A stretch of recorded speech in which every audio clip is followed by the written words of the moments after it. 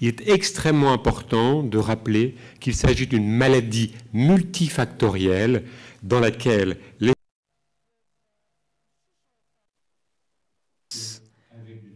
but linked to genetic factors or other nature factors. This process that is leading uh, from arteriosclerosis, i.e., from the formation of a plaque of atherome in the arteries, uh, and then generates the formation of a clot that is going to plug an artery and uh, link to infarction with a complex process with an inflammatory but also fragility of the plaque part. Very important this. It very often leads to trouble of the uh, rhythm of uh, heartbeat, heartbeat, leading to sudden death. So it's a very important topic that cannot be only linked to one cause. Now, I want to talk about the place of saturated fatty acid in this process, and particularly uh, look at the light of the light data that we have on literature, particularly on epidemiology, that are as a complement that Mr. Legrand just mentioned, on the role of fatty acids, particularly saturated fatty acid, within this disease. I'm not going to come back on the physiological road, since it was particularly well illustrated here. We're talking about the iconographic role. It's a cult movie in France,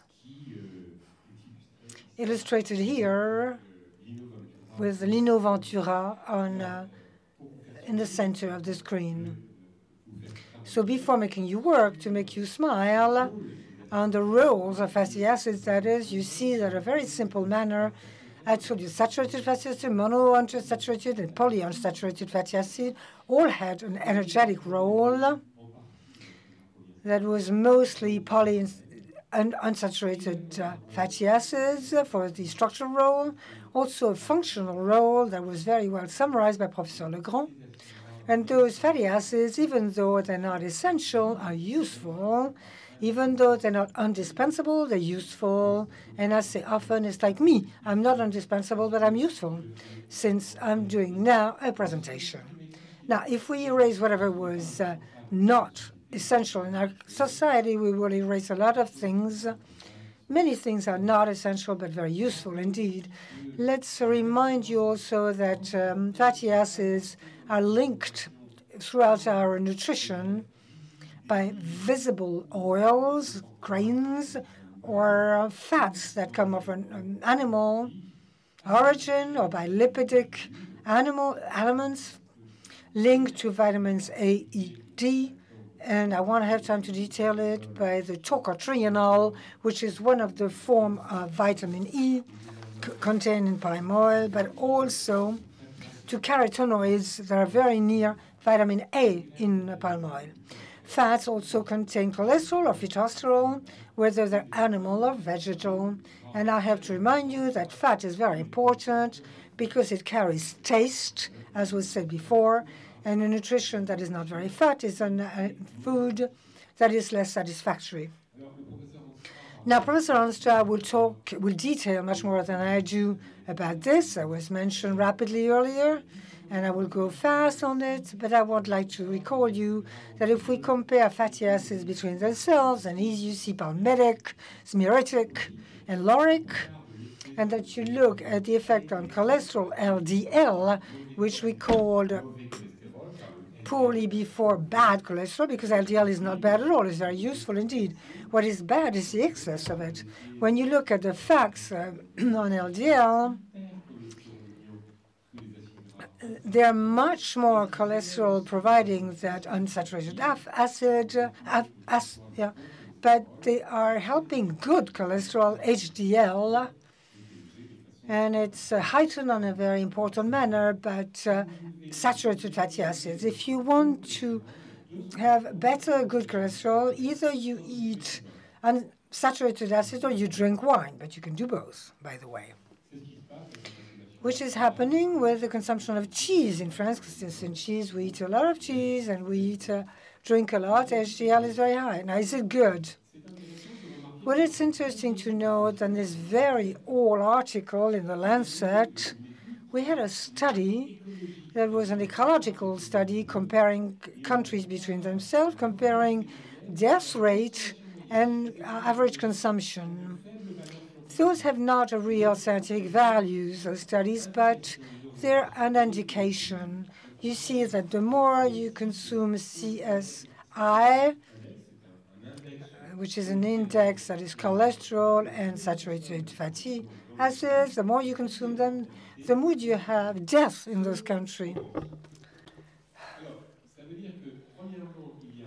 First of all, there's a paradox in France. Second, it's not that much of a paradox because we know why. And thirdly, this study doesn't have much value because it compares things that are not comparable in between themselves, and particularly at the time, since it was data from the 70s and the 80s, we have a vast difference of economical growth in between Finland, for instance, and Dominican Republic, as an example. So the studies are just suggesting uh, that the manner that countries are living is impacting health, and of course nobody can doubt it. It also says that we're relatively different. So for a long time, we had studies showing that it was a link in between the increasing consumption. It, those are migration studies, by the way, showing a link in between the change of nutrition habits with Japanese that are moving to Hawaii or California, you see that they're consuming increasingly lipids, saturated fatty acids, and the mortality and the coronary death is raising as well. This doesn't mean that there's a link from cause to effect. A lot of things can change too. Second comment, the uh, FA in the studies are considerable, since you see here that we're more than twice the average that are noticed in France today, and we are eating a lot of SFA, 66 grams a day, which is a lot. And it does generate a little raise of cholesterol, and it is linked to coronary death that is increased. We also had the seven countries study and in those countries uh, that were compared, when you compare Japan, Greece, and so forth, and uh, effectively where the consumption of fats is uh, higher, you have a raise uh, of the cholesterol level as well as mortality. You still notice in a country such as Greece, when you eat 37% of Greece, Finland 37 too, you have death rates that are different, but many things are different too in, within those two countries. So it's showing us that food and lifestyle are important. It doesn't show that there is a relation of effect to cause. It means that you have to pay attention to your diet. Now, when you look in the seven country study, which is the same study, on 25 years background and follow-up, when you see the relationship between the coronary mortality and the uh, cholesterol level in blood, you realize that there is a relationship in um, according to countries. It's a growing relation, actually. The more you have cholesterol in on 25 years follow-up, death uh, rates are growing, but not in every country. This is US and this is Scandinavia. If you look at the Mediterranean countries or Japan, it is not raising. at the same level of cholesterol. In other words, cholesterol is not enough to explain the cardiovascular diseases. There's also protective factors that are different according to the various countries. Very important to notice this, otherwise you'll have poor science and poor public health. Lots of the studies were done beyond the one I showed you, and in the 80s, 90s, uh, um, 2000, we saw studies that were a little more nuanced, particularly the nurses' health study, very well known in the U.S., one of the greatest um, study of the time. You see that in this particular study, no statistical relation appears for palmitic acid this relation doesn't exist or almost exists for ostearic acid, which is very interesting. but not very high. It's only 19%. And when you add it on 12 and 18, it's a raise of 10%, which is really not very big. So already the question arising because the proportion of elevation was not drastic. Now, later on, retrospectively, when you look at the former studies, the most uh, famous Framingham study, which was the first epidemiological uh, study for coronary diseases, at the time already we were astonished because there was not necessarily a relationship between SFA and cholesterol. That this relationship between cholesterol and CHD were not present in women, and in a certain population, you had a relationship in subgroups uh, that was very weak, very low, in between SFA intake and CHD incidence, only for the percentage of fat. So a few doubts were already arising on those questions. I will show you an old study that often was uh, considered as a study linking uh, fatty acids and the risk of coronary disease. Um, and as a good scientist, I read the articles that are published. And when I look at the detail of them, that's not what I read. Look at this uh, study and Western Electric Study, which is the French, uh, the American EDF.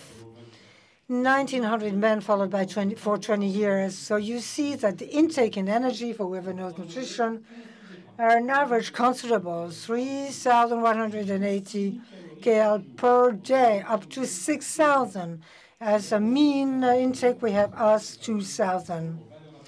The absolute value for intakes of SFA, 10% of the population is eating more than 161 grams of fat a day. Considerable that. Even in this study, you have a low statistical relationship for a particular index, but not for SFA. So you see that major consumption is not to be wished for, but not at the level that we're fearing or we thought. And it's a context of a very specific nutrition of people eating a lot and eating uh, on a very imbalanced diet. Many other studies have been done since, and this one, of course, I mentioned, the seven-country study with intakes in SFA in Finland at the time that were too high, 24% of the total intake, 25 years old. Later, I'll talk about it. Another study showed that the risk was, um, and then you will see 17% in the uh, nurse, and the reverse one, 7%, and the British studies that were 0%. Uh, so you're going to say I was arbitrary in my choices. Well, no, not at all. What I wanted to say is come up with studies, uh, um, the Siri-Tarino, that is showing uh, that when you take the sum all the studies in a meta-analysis, all the prospective uh, studies on the link between SFA and CHD, well, uh, the bottom line, you have no statistically significant link between CHD and SFA consumption. So this study, of course, was a major shock and showed that this relationship was not uh, real. Now, other studies brought uh, other perspectives on the issue, because in fact it's a complex relationship. You shouldn't say that there's nothing. You should say that it's complex. Here is a study that was published in 2009, a few years ago, trying to um, link in prospective study what was happening if uh, you substituted the SFA by polyunsaturated fatty acid. You see that globally the substitution that is a prospective study, let's not forget, is quite favorable. However, you see that when you have substitution with monounsaturated acid, it's not favorable. And when there's substitution by glucids, it's not favorable either. So in fact, reducing SFAs, replacing them by what? That is the key question. When you say some, to someone, eat less, well, then he would less more something else. So what does he eat instead of it? Here, in the same line and with the Jakobsen team showed that when you were replacing fat and particularly saturated SFA by glucids, you had, according to the type of glucids um, intake, a diminishing of the uh, risk of cardiovascular disease or a raise. So people are substituting SFA by CHO, which um, carbohydrates, glucid of high in index, which is the Western diet, you have a raise of 33% of risk. So what is happening when people are reducing their SFAs, or what is happening when they eat a lot of them? Eating a lot of SFA, like in the Western study showed, or like in uh, the other study showed with a lot of glucids, uh, is not to be done. Why? So let me come back on this image that Philippe Legrand showed, that he described very well that when you eat glucids, you're capable of um, generating a fatty acid. And let's stop at the palmitic acid on the level of the liver, because this lipogenesis is a liver uh, lipogenesis. But now it's not going to be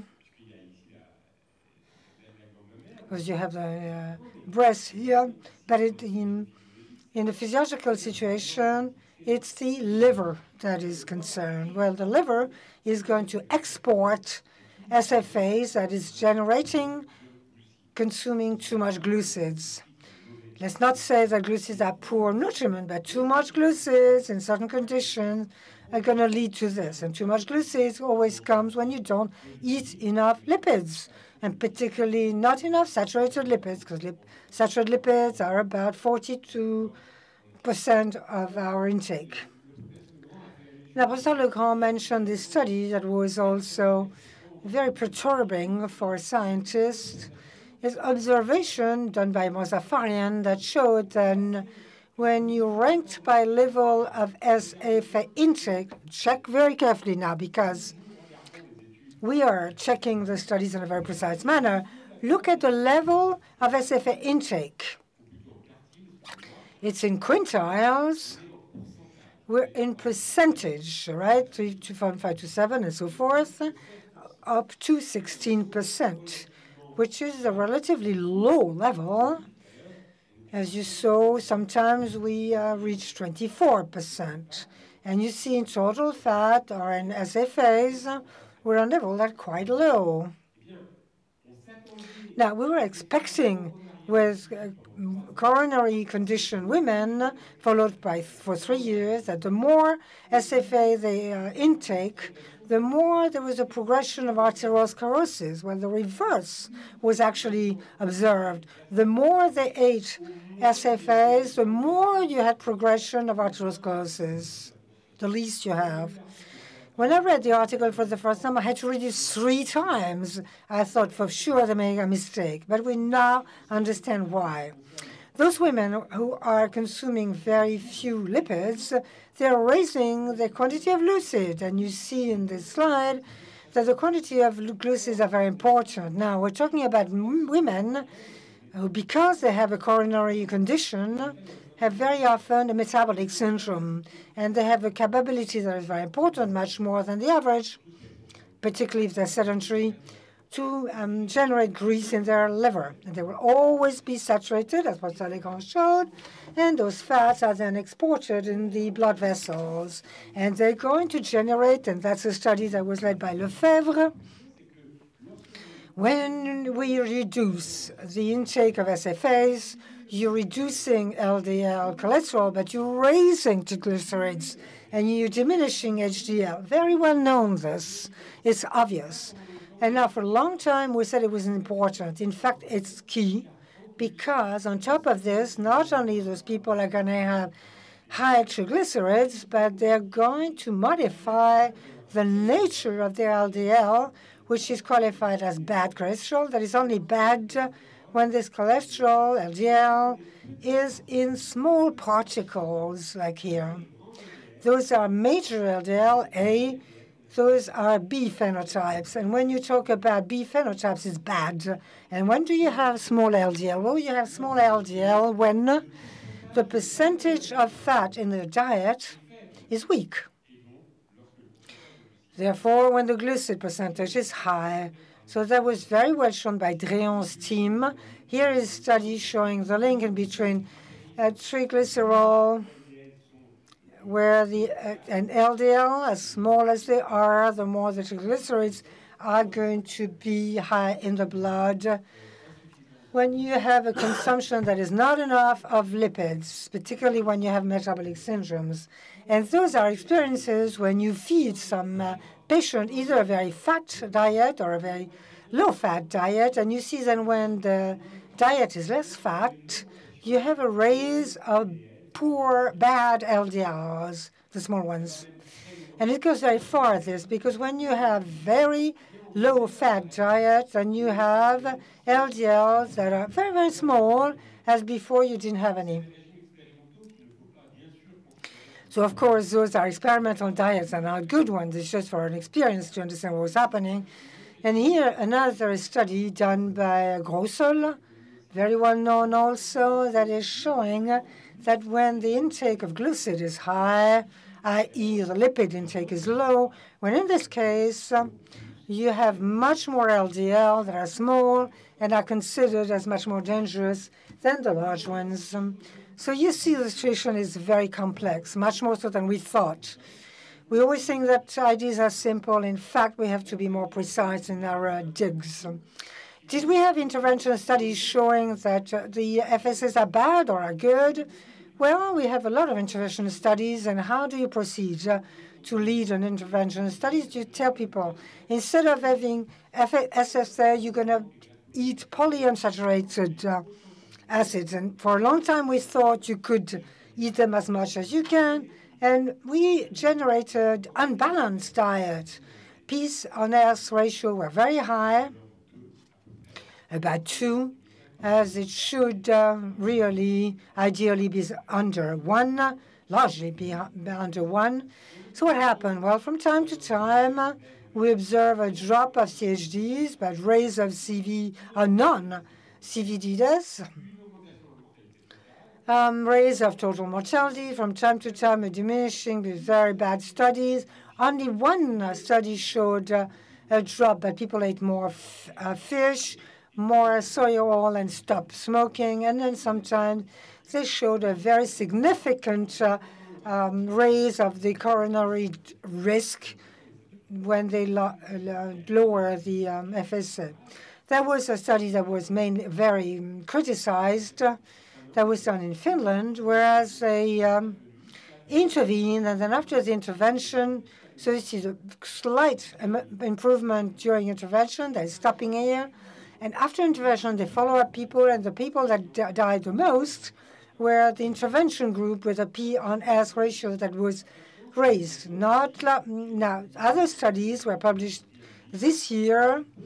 Uh, the Sydney study that is uh, could be criticized, but however, you see that within this, and a P&L uh, report very high, the group that has a um, higher level of more of death rates is a group uh, with a raise of F poly polysaturated uh, fatty acids. Why is that? Because, as I said earlier, and I didn't show you the studies, it would be too long. In this case, um, when you have a diet that is poor in SFS, you are raising the generating of saturated acid by the liver. And when you have a high fat, high SFA diet, which you shouldn't do except on an experiment, well, in that case, you diminish the transport of SFAs that are coming out of the liver, and you're also de decreasing the lipogenesis marker. Uh, when you, therefore, the liver doesn't need to generate so much and is generating less, which is quite rational. And in 2013, the study that I just showed uh, made a meta-analysis of all those interventional studies to see whether, by chance, the studies that seemed rather in, in um, negative versus vis-à-vis uh, -vis the SFAs were confirmed or not, or if it were a reality. And you see here that this uh, meta-analysis uh, looking at the death of uh, CHD or the risk of CVD, not cons considering only the actions that are selective or omega-6, omega-3 ratio didn't show any benefit to the substitution of SFA by other fatty acids. Now, you had even more interesting studies uh, that were led. Women Health Initiative, there's an American study, where we, they said, we're going to try it with people who have nothing to see whether eight years later they die more when they eat less fat. Well, tough luck. It's a catastrophe, in fact. 48,000 American ladies um, with two groups of women. And you see some of them were asked to reduce their fat consumption a lot, particularly in SFA. After eight years, no benefits were observed with those 48,000 ladies. Worse, in the women who had already a CVD uh, background, you had a raise of 26% of major CV events. Probably they were women that had a metabolic syndrome. So we're going to round up on a few notions to come back to palm oil and look at the French situation. Here is a picture of the prevalence of uh, a CV disease in France, which of course the French paradox, i.e. France is a country in Europe where you have the less cardiovascular deaths, way far from the other countries, as you see here, by far, except my region in the north of France, that is here, whereas, of course, people have a diet and poverty that is different. However, France is the European country consuming the most SFAs, and if you compare to Germany, Great Britain, or Greece, you're higher than they are. You're also higher than the USA, in fact. And we're really completely 16%. And we should count 17% if we want to refer to the real ANC, i.e., we have to count on the non-alcoholic intake with 17%. However, we have the CVDs rates that is the lowest. The explanation is probably linked to the fact that, first of all, the SFAs that we're taking are also coming from milk. Second explanation, we certainly have a lot of protective factor, particularly of polyphenols. I will not uh, defend wine here would be inappropriate, but it probably plays a role. Now let's check the fats now to conclude uh, and come to the last uh, slides, when you look at the com composition that was shown before, we have, of course, a high tenure in SFAs, but let's uh, compare it to cocoa butter, for instance, we're underneath, and check uh, versus butter. But butter is an excellent uh, piece of food, which you shouldn't do is eat too much of it. And you see here um, duck fat and, and olive oil. So in the bottom line, there's a lot of uh, similarities. What you have to highlight, too, is that within palm oil, you certainly have 50% of SFAs, but 50% of unsaturated fatty acid, half um, full or half empty uh, glass. So we can look at both. And in fact, what do you have? We have this half but you also have to specify something that is not completely uninteresting, even though it's marginal. It's the place of fatty acids on glycerol. And, uh, and you see that on glycerol, you have three uh, slots. One, two, three. So sorry, there's a mistake. It's one, two, three. I can't see, but I think there is a mistake on the figures here. Shouldn't start with two, should start with one. In any case, what you probably know is that in the intestine, you have a generation of uh, peripheric um, fatty acids, position one and three, that are extreme, to the profit of a monoglyceride that is going to be ingested and absorbed as such. And within palm oil, it's not specific for palm oil. Cocoa butter is the same thing. Each type of um, lipid will have a position that is completely linked to its nature, to its very nature.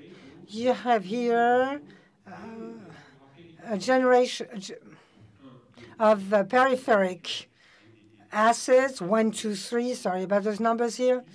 So a generation of peripheric uh, fatty acids, and, and in presence of calcium, those peripheric uh, acids are going to be eliminated as soap. If it is an unsaturated fatty acid, it's quite interesting. If the peripheric uh, fatty acids are saturated, it's interesting too. And this is what's happening for palm oil. Since in palm oil you have only 11% of palmitic acid that is in position two, i.e. Central, um, central position. So it's mainly oleic acid, and in periphery is palmitic acid or other fatty acids. So you also have a specification for each oil, but as you see cocoa butter, it's the same thing. The periphery is saturated, as the position to the center is uh, rather unsaturated. So what do we know about palm oils and the effects of it? And I believe that the two following presentation will um, detail my presentation. What are the pros and the cons and the weaknesses and the strengths? The, the strength is that they're rich in SFA. Disadvantage, uh, it, it's also rich in SFA. Why can we say this? It's true that um, if we observe its um, tenure in SFA it could be um, weakness, but it can be also strength because it's more stable, it's more solid. And something that we haven't mentioned so far, it's this uh, richness that allowed to reduce and suppress in France and in other Western countries uh, partially hydrogenous uh, acid coming from partially hydrogenated uh, oils. Very important this because they're trans uh, fats. Here you see fat with two double links. They're in position six. And we are partially hydrogenating. They disappear. And another one is persisting, but in a trans position. Now, this trans position is giving to fatty acids a, a raise that is very important of LDL and a drop of HDL that is very important. The trans fatty acids are completely wrong. Thanks to the introduction of palm oil, you could and we could diminish the trans acids, and this is very good news because it has properties that are functional, i.e. physical, that is allowing it to have identical usage. Now, the studies that were done on palm oil would be specified later, with much more detail, we had we reviewed the literature. What did we find? Well, we observed indeed that palm oil had uh, effects on LDL cholesterol that was a little bit superior, that was raising but less, sorry, than lauric acid or myristic acid, that it was raising HDL cholesterol but less than butter or copra fat or lard, that it was having effects that are very near avoid peanut oil or like sunflower oil, and that it had a lipid profile that was much better than partially hydrogenated fat, that it was increasing LDL more than soybean or sunflower, but less HDL. We do not have any perfect oil, since perfection is within uh, the nutrition and not only of one food. Now, unfortunately, there are very few epidemiological studies that are available. There's only three poor quality. They're good studies, mind you, but their capability of information is mediocre. We're talking about an ecological study here showing that mortality in Singapore and Hong Kong is no is higher than Hong Kong, and that the um, animal ratio on plant fat is higher. It doesn't mean anything. Very interesting, but it doesn't prove anything. Second study, it's a study with survivors of uh, MI in Costa Rica, and those people who survived it have a consumption that is more important of palm oil. But since they're survivors, you can say that it's we don't know why they come out of it. So it's a poor value study. It exists, but doesn't have much value. And the third one was published too, always ecological study showing that in developing countries, the rate of consumption of palm oil is parallel to um, mortality. However, this raise is linked to many other factors that have been changed, and you cannot deduce any conclusion. It's an ecological study. On top of it, Malaysia and Indonesia were not included in those studies, which is really a shame because those are the main countries that are consuming palm oil. So we do not have enough epidemiological studies that would uh, establish really the um, unharmful aspect of consumption palm oil, of palm oil. As a conclusion, we cannot say today that SFAs are responsible of CVDs. They are not responsible for cardiovascular diseases. It's an assertion that we can make. I didn't say, of course, that you should eat too much of it. No. And right there, I said that their excess, high excess, in case of a Western diet, is not desirable. It's very logic there. You would say the same thing from uh, unsaturated fatty acids or polyunsaturated um, fatty acids, and particularly omega-6. Their replacement with a high intake of CHO is not desirable either because with uh, glucid, sorry, because the perturbation of the metabolism are not going to be favorable. Palm oil doesn't induce a different uh, profile from monounsaturated oils and is rather more favorable than the other saturated oils. Palm oil has allowed to reduce the use of trans fatty acids, which is very good news, which doesn't mean that you should uh, consume too much palm oil either. What is a nutrient you shouldn't abuse it in any case. Of course, we must also consider, because we don't have enough information, the source of SFAs, the studies that were done, are not always highlighting, and now we have works uh, that are going into that direction. We have to consider the source of SFAs, because certainly we have various effects in between the fats that come from milk, from meat, or from vegetable. And we have to come out of the idea that we're only considering SFAs per se. And as a nutritionist, we cannot encourage the excessive consumption of fat uh, food, to too sweet, um, too salty, that as snacks.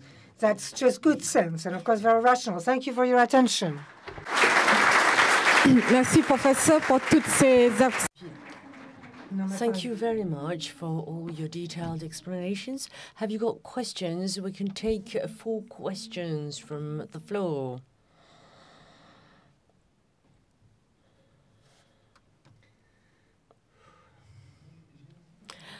I have a, a, short comment. Thank you for your really good uh, presentation. I have a.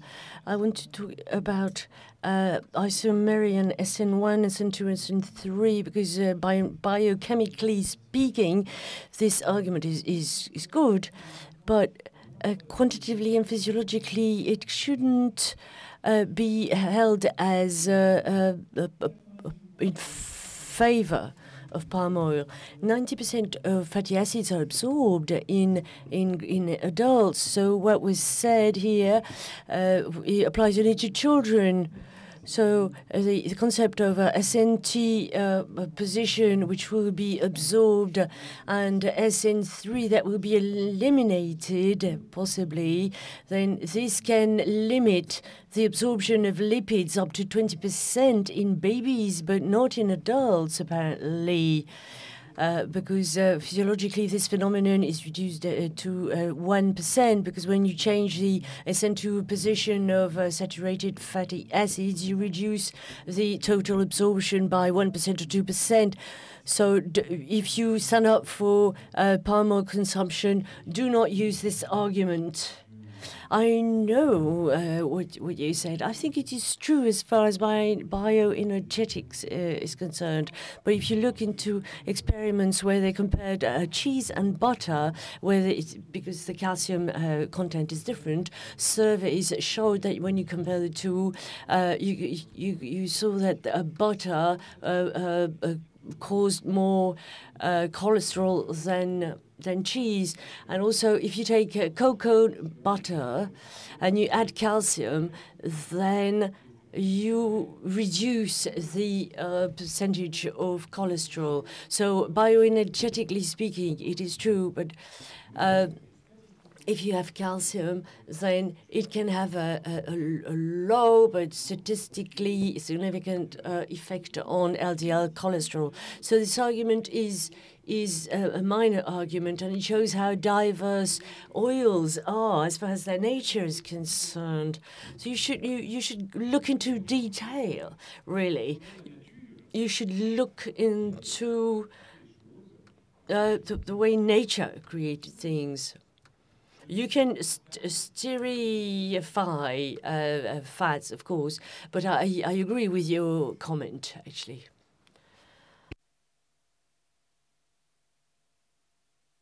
Any more questions? to answer Professor Legrand as well, um, uh, the WHO set up an expert committee to look at the SN2 position as well, and they came up with a report in the 2010 WHO report to say very clearly that palm oil or vegetable sources of palmitic is different from animal sources because of the two position, and that's very clearly stated in the WHO report, just to inform Professor Legrand. No, no, in terms of also physiological effects, they have actually studied that, and they've said that vegetable fats are different. Okay, thank you.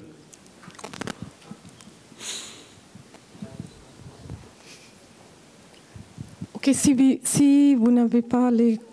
Ok. Uh, last question, please.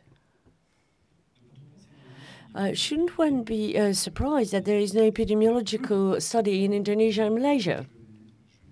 Uh, maybe. Um, um, I don't know whether there are any. Uh, but I think that the, the, there was no problem about this. What I mean is that uh, up until now, what was observed, but I may be wrong, was that naturally pe local people use a lot of palm oil, uh, non-processed, usually non-refined, and cardiovascular disease uh, rate was up until recently very low in these countries.